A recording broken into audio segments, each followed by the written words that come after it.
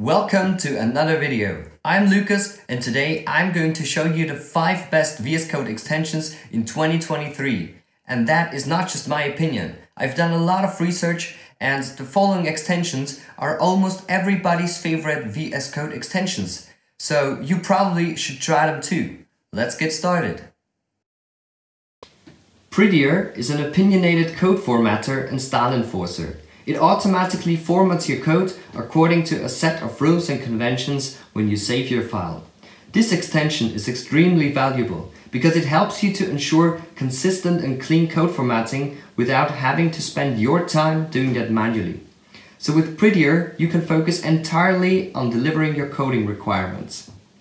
If you click on this icon over here and then on extension settings, as you can see, there are also a bunch of different settings to configure everything according to your requirements and needs.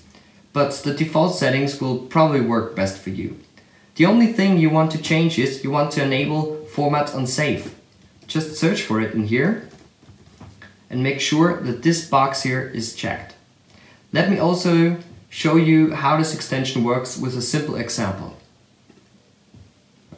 This is a simple HTML file with some basic boilerplate code in it and now in the body, let's add a headline.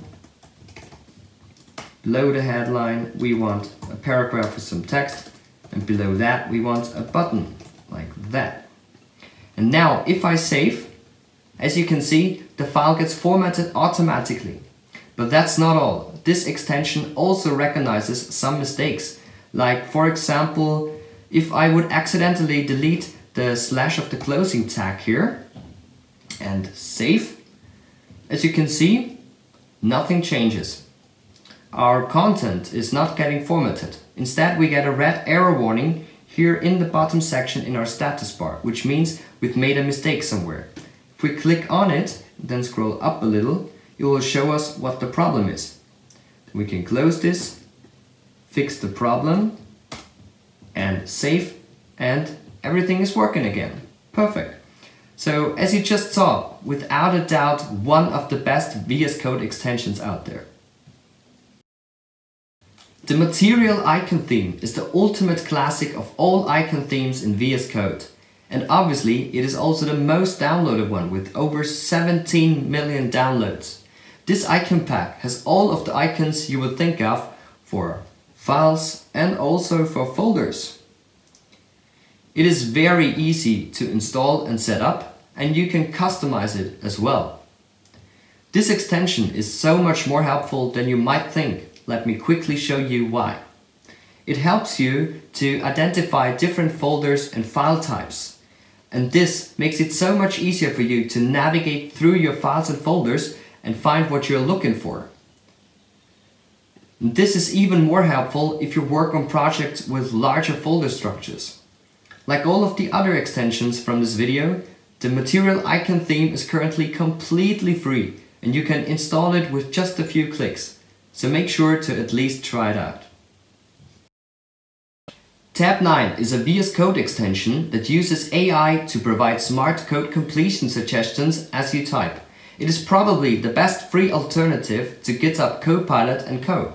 Tabnine learns from your code and can suggest code completions based on your current context and coding patterns. There are plenty of benefits to using Tabnine. The top three are increased productivity. You can generate code much faster. Code consistency. Tabnine can help ensure that your project's code is consistent, making it easier to maintain and debug. And improved code quality. It may find solutions that you might not have thought of on your own, and this can lead to better, more efficient code. Let's take a quick look. We start inside the body part of our HTML file. There are many different ways how you can use Tabnine. You could simply start writing your code like you would normally do. Let's say we want to create a navbar. Nav, UL, like that. So, and once you get a suggestion, you can either take it by click the tab button, or you can continue to write your code to give Tabnine more context and you wait for better suggestions. Because the more context Tabnine gets from your paragraph, the better the solutions are going to be. Or you can also swipe through different suggestions. or you can even just write a comment to tell Tabnine what you want to do next. For example, let's delete that. We write a comment and say create a headline with title as text, like that. Now jump down here and as you can see, pretty cool, right? I just started to use Tabnine myself a couple days ago, but I would really recommend you to try it out and see for yourself how much more you get done with an extension like Tabnine. Of course, there are better AI tools that could help you even more, but most of them are either not free or there is no VS Code extension of it. Live Server is another very popular VS Code extension. It lets you launch a local development server and see your code changes in real time in your browser. Anytime you save changes in your code, it automatically refreshes your browser so you can see the changes you've implemented.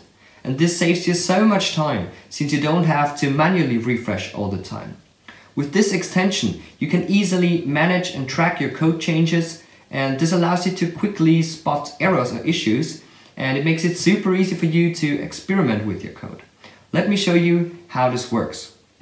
So, I have a HTML file with some basic boilerplate code here and a CSS file with some basic styling here. Now, in the status bar in the bottom section, you can find the link to start your live server. Click here where it says go live and it will open up a new browser window and display your site like that. Right now it's just an empty white page because our body part is empty as well. So let's change that. We want to add a headline here. Below the headline we want to add a paragraph with some text. Now let's save and switch back to the browser. As you can see, the site was automatically updated thanks to the live server extension. Most of you probably already knew or maybe even used live server. For the rest, you're welcome. Auto rename tag is an extension that automatically renames HTML tags when you rename one of the tags.